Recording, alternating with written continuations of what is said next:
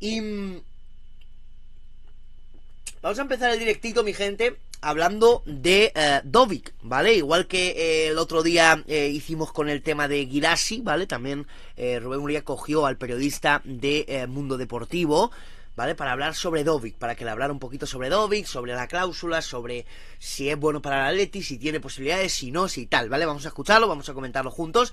Pero antes quiero hablar de una cosita que ha pasado bastante desapercibida y que eh, no tiene que pasar desapercibida porque también tiene importancia en el tema fichajes, sobre todo por el tema del sueldo que le pongan a Griezmann en esa nueva renovación. Por favor, mi gente, como dice bien aquí Eduardo en el chat, darle a like, es muy importante, por favor, darle a like, suscribiros eh, y lo que queráis los comentarios, ¿vale? Porfa, y, que es importante y ayuda mucho al canal. Digo esto porque Rudy Galetti, eh, reputado periodista francés, habla ya de que eh, Griezmann renovará su contrato con el Atleti, que está confirmado, ¿vale? Que habrá renovación. Sí que es verdad que tanto Fabrizio Romano como el Marca, incluso el As, Mateo Moreto, nos habían hablado que había que tener reuniones, ¿vale? Para, para ello, pero que era un hecho que se va a hacer, ¿vale? Pues desde Francia ya apuntan a que esto va a ser una realidad más pronto que tarde, ¿no? Dicen, perdón, algunos clubes se acercaron para explorar el margen de negociación para el futuro.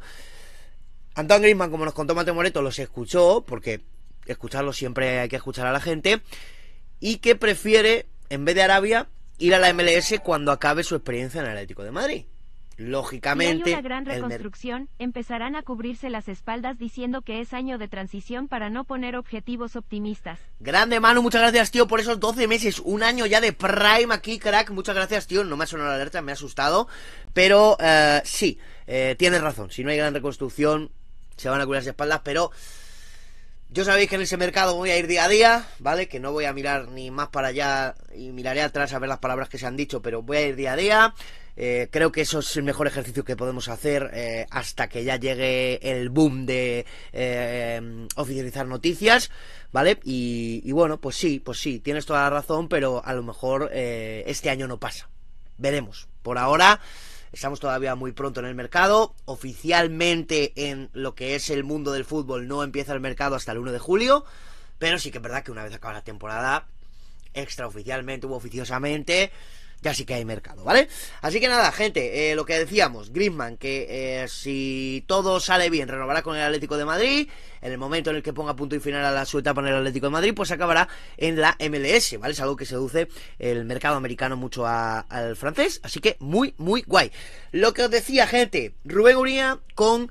Eh, Alex Luna creo que es, no recuerdo si se llama así, el periodista de Mundo Deportivo, hablando sobre Dovic, sobre la cláusula, sobre las posibilidades que tiene el Atleti de poder ficharlo, el por qué es tan caro o tan barato, qué pasa aquí. Vamos a escucharlo ahora mismo y vamos a comentarlo. A ver, Ale, muy buenas, ¿qué tal? ¿Cómo estás, amigo? Muy buenas. ¿Cómo ha dicho que se pues llama? Muy bien. ¿Y tú qué tal? A ver, Pues nada, encantado de tenerte perdón, por aquí. perdón, ¿cómo has dicho? A ver, que- Ale, muy buenas, ¿qué tal? a ver ¿Cómo si estás, es Alex amigo? Luna, vale, ok. Muy Alex Luna, Alex Luna. buenas. Pues muy bien. ¿Y tú qué tal? Pues nada, encantado de tenerte por aquí. Oye, que estaba yo hablando casi prácticamente solo mientras te metías. Ya entra, entra en pánico, digo, que, que me falla Alex. que Me falla Alex. Bueno, ya, ya está por aquí, ya está por aquí. Digo que mm, eh, estaba hablando eh, con la gente de Arten Dovic, de la figura de Arten Dovic, que Sí. ya, ya contamos eh, muchísimo, muchísimo, muchísimo eh, sobre el tema de, de- del interés del Atleti. Eh, hace unos meses, no sé, cuatro o cinco meses contamos que le gustaba la Secretaría Técnica. Hasta donde yo sé, no hay ningún tipo de oferta de club a club. Eso es algo que se ha comentado mucho. Y eso, y eso es algo que todo el mundo niega. Excepto el marca. El marca ni te confirma ni te desmiente. Hablan de interés, hablan de que Dovic gusta mucho. También te hablan, por cierto, de que Sorlot era la gran inversión y que el dinero se lo van a dejar en Sorlot, que Dovic es una alternativa. Pero sí que es verdad que nadie esconde que a la directiva, como dijo Peto, confirmó Mateo Moreto y habla de las, a la directiva el que más le gusta es eh, Artem Dovic, ¿no? Pero también os digo una cosa, muy probablemente sea el más caro de los tres, o de los dos, ¿vale? Contando con Girassi, que ahora también tenemos que hablar de, de él un, po- un ratito más eh, adelante. O sea que cuidado con eso también, ¿eh? No sé lo que te consta a ti. Sí. Sí, co- eh, coincido contigo. A mí tampoco me consta ni ninguna oferta. Es verdad lo que dices, ¿no? Que hace meses ya se, ya se rumoreaban, ¿no? Cantos de sirena hacia Dovic. eh, también es un jugador que es lo que hablábamos antes, ¿no? Que es un jugador que puede gustar a cualquier equipo de, de Europa porque el gol va muy caro y Dovic es seguramente de los delanteros que mejor cláusula tengan para lo que puedan aportar, que estamos hablando que hasta la última jornada va, va, va a competir con Sorlos por, por el Pichichi. Se lo ha llevado, ¿no? Vale, eso es antes de esta, de esta jornada. Que yo sepa se lo ha llevado porque Sorlos se lesionó, por cierto, el otro día, eh, el viernes, si mal no recuerdo, contra Osasuna, que duró 15 minutos sobre el, sobre el campo.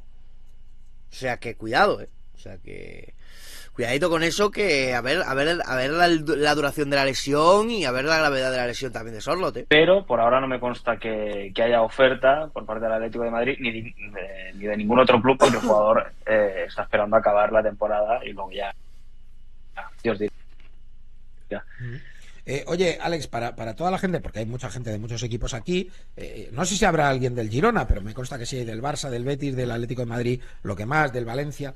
Eh, te pregunto, ¿qué condiciones contractuales tiene Dovic? ¿Qué cláusula tiene? ¿Cuántos años de contrato? Mm, contrato tiene hasta 2028. Es que es un contrato bastante largo. ¿eh? es un jugador, bueno, para los que no lo sepan, fue la mayor inversión hasta ahora de Girona en cuanto a fichaje. Eh, se pagaron unos 7 millones por el 70% de, de los derechos de, del jugador. 70%. 70%. 70%, sí, aproximadamente un 70%. Hay gente que dice 75, eh, a mí me dicen 70, bueno, en todo caso irá por ahí. Entonces, a partir de ahí, ¿qué es lo que sucede? Eh, se ha hablado de diferentes números de cláusulas. Girona no es un no es un club que, que tenga por norma publicar las cláusulas de los jugadores no, la Leti tampoco.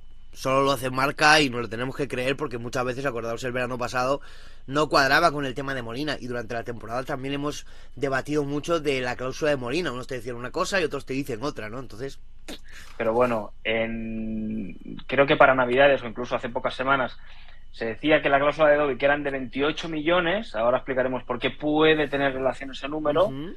Eh, y recientemente se ha sabido que Dobby podría tener una cláusula de unos 40 millones de euros. Pero a mí la información que me llega es que estaría entre 40 y 50, quizás más hacia los 50 millones.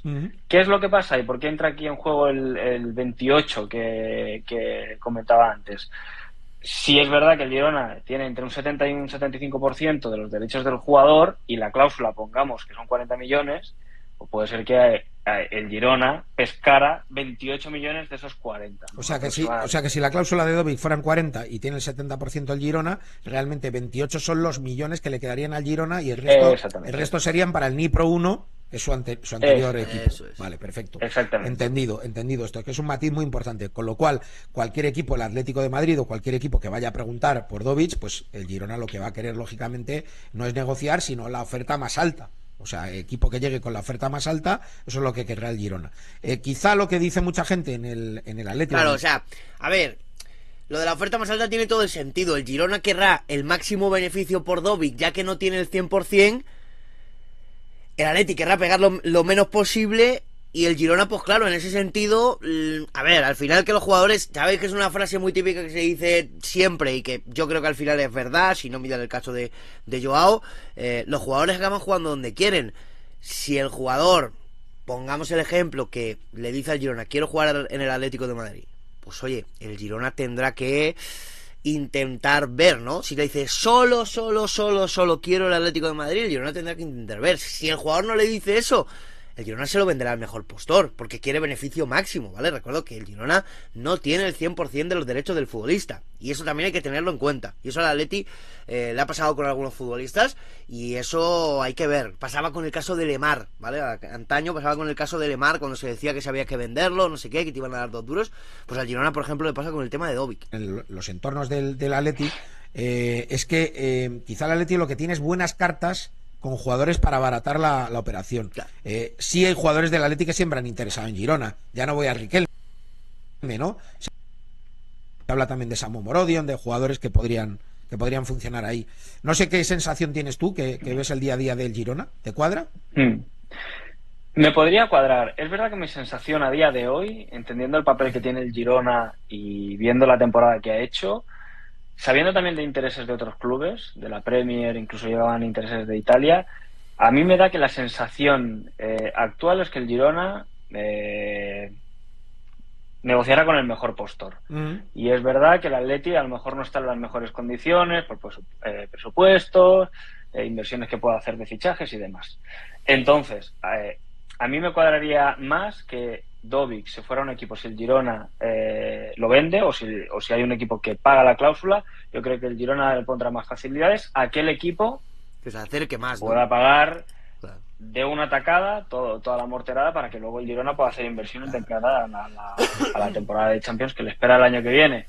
Que después aparecen otras cartas porque Quique Cárcel resulta que habla con Atlético de Madrid y le gustan dos o tres jugadores. Mm. Pues a ver qué se puede hacer, ¿no? Ya se rumoreaba el pasado verano, incluso con una vuelta de Riquelme, porque hizo tan buena temporada, porque Yo os digo una cosa, con el tema de Riquelme, sé, sé, porque no es porque sea información mía ni nada, porque es público, él mismo lo ha dicho, que él una cesión no quiere. Pero que entre traspasado, ya que quizás al Simeone le ha costado encontrar una posición porque es muy cabezota y no le quería acercar al área, pero que entre traspasado en alguna operación, yo ahora mismo en mayo no lo descarto. Yo, ¿eh? No digo al Girona, ¿eh? Ni el Villarreal ni tal. O que lo vendan o que tal, porque a lo mejor no le encuentran acomodo en, el, en, en la plantilla.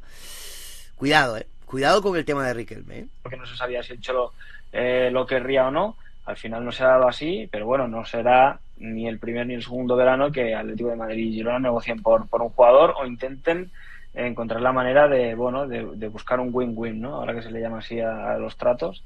Entonces, bueno, pero me cuadra más que yo que sé, por ejemplo, sonaban del Chelsea, ¿no? Pues si el Chelsea viene con 40 o 50 millones y los puede pagar de una, el Girona diga, bueno, pues para ti, Dovic, ¿no? También las relaciones que haya entre los clubes un poco determinará un poco cuál sea el destino y también la voluntad del jugador, que también Eso tendrá influencia en esto, Eso claro. es. Sí, señor. Es es el fichaje más caro de la historia del, Del Girona, sí. del Girona. 7 kilos. Pagaron, ¿no? 7 kilos. Sí, 7 siete kilos, eh, no sé si cuadrados o bueno, con algún matiz. Pues oye, el fichaje más caro de la historia del Girona, que le puede sacar pues hasta a lo mejor 30 millones más, es Dovic. Y sacamos en claro de esta charla que Dovic será vendido al mejor postor, que al Girona le interesan algunos futbolistas del Atlético de Madrid. Y veremos a ver, gente. Y veremos a ver qué pasa con el tema de, de Dovic.